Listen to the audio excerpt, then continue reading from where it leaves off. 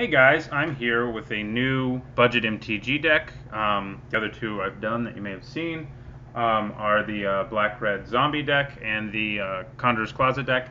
I think this deck's going to be more competitive than the Conjurer's Closet deck was, one was. That one was a lot of fun, but it ended up not really panning out as a competitive deck.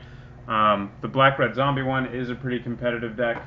Um, and I think this one will be more in that vein of that, in that sort of vein.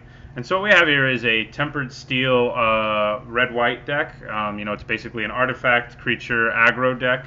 Um, as you can see, it has an incredibly low curve. Um, in fact, these guys, these legionnaires, could all go over here um, if they wanted to, and the skirges could all go in the one-drop area because of Phyrexian mana. But I'll just sort of go through the deck. It's made really around tempered steel. I mean, it doesn't need it to win, but it helps you know, get over the hump um, when your opponent starts to try to stabilize with bigger creatures. You get Tempered Steel up there, and all your artifact creatures get plus two, plus two. Every creature in this deck is an artifact creature, as you might imagine. Um, we've got four Court Homunculi. Um, you know, just a little one drop who gets to be a 2 2 uh, as long as there's another artifact in play, which is going to be common in this deck. Um, in terms of other artifact creatures, we have two Aethersworn Canonists, um, which is just a 2 mana 2 2, and it can help, you know, stop various decks from doing what they want to do and playing multiple spells. I have two in the sideboard here too, as you can see, for opponents where it's even more important. We've got Vault Skirge, who's just really good. You know, he's I usually play him for one mana and two life, and he's flying and lifelink, and if he gets Tempered Steel on him, he starts gaining me a lot of life, or Cranial Plating, which is here too, as you can see. Um, other creatures is Glinthawk Idol, which is basically a creature. Um, it's a two mana artifact, and as you can see, whenever another artifact enters the battlefield, it becomes a 2-2 flyer, and I can also just play one, pay one white to make it a 2-2 flying artifact creature. Um, and then there are three Porcelain Legionnaires, who's basically a 2 mana 3-1 with first strike. Um, and then we have Etched Champion, um, you know, who's the Metalcraft guy who gets uh, protection from all colors when I have Metalcraft, which will happen pretty often. Um, and the cards we have in here that aren't creatures are things like Galvanic Blast, which you know is just a shock unless you have Metalcraft, in which case it's you know better than Lightning Bolt. It'll do four, and Dispatch, which it taps a creature, and then if you have Metalcraft, it exiles a creature. This deck gets Metalcraft pretty easily. Um, we've got a lot of artifact creatures, and then on top of the creatures, we also have Cranial Platings, four of them, you know, which is basically a must for a deck like this.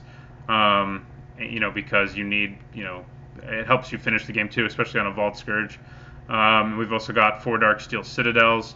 Um, so our deck really has, you know, a large number of artifacts, and Metalcraft is pretty easy to obtain. Um, uh, so yeah, and I also have one Banishing Light, um, just sort of as a catch-all removal if I need it, and three Lightning Helixes just because you know they're really good, and we're in those two colors, so may as well be running them. It's a good removal spell. We can also just burn our opponent out in the late game. Um, you know, if say we do a bunch of damage to them early, which this deck can do very easily, um, but then they clear the board or something, we can then rely on like Galvanic Blast and Lightning Helix to finish our opponent off.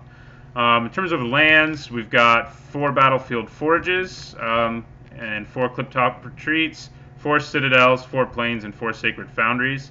Um, so, you know, it's a pretty good mana base. We only need 21 lands in this thing because our curve's so low. Like I said, it's even lower than it looks because the Skirge could go in the one slot, the Legionnaires could go in the two slot.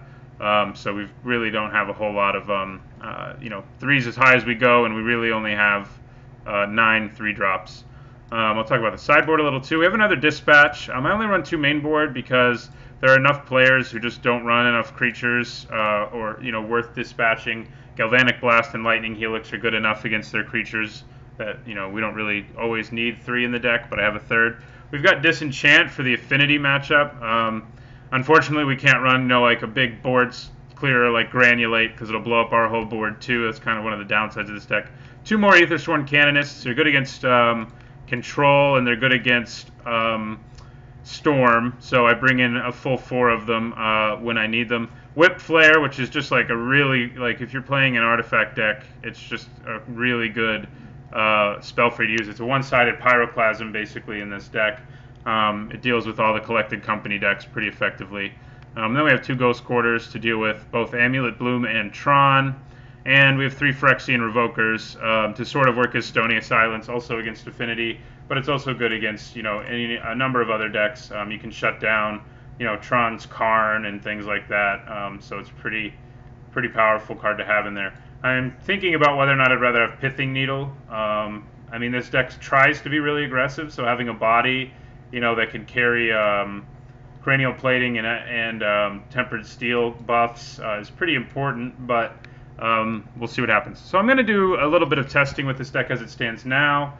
Um, there are a few cards that I'm sort of thinking about adding. The most recent uh, Met set that came out, Magic Origins, has Chief of the Foundry, and I'm kind of considering adding him, although I think he may be too expensive. I mean, he's not as good as Etched Champion, that much is clear. He may just be too high on the curve for this deck since, you know, um, we don't want a bunch of three-drop creatures. Um, but I'm thinking about him, and I was thinking about the Pithing Needle as well. I'm going to test this deck a little bit. Um, I'll probably play three games, three matches with it that you'll see. Then I'll make some changes to it, and then I'm just going to jump into a modern tournament, um, which you'll see uh, probably you know the week after you see the first three videos.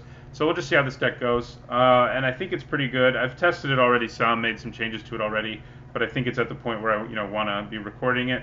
Um, and the deck's pretty cheap to make. That's why it's you know budget MTG. Um, it costs 38.50 um, on Magic Online, as you can see here, and it's a pretty good deal. Um, and a lot of that, a lot of that is the four Sacred Foundries. Um, so if you're trying to go even more budget with this deck, where there they are, yeah, that's 1860 is our Sacred Foundries. So um, without them, the deck is can even more budget.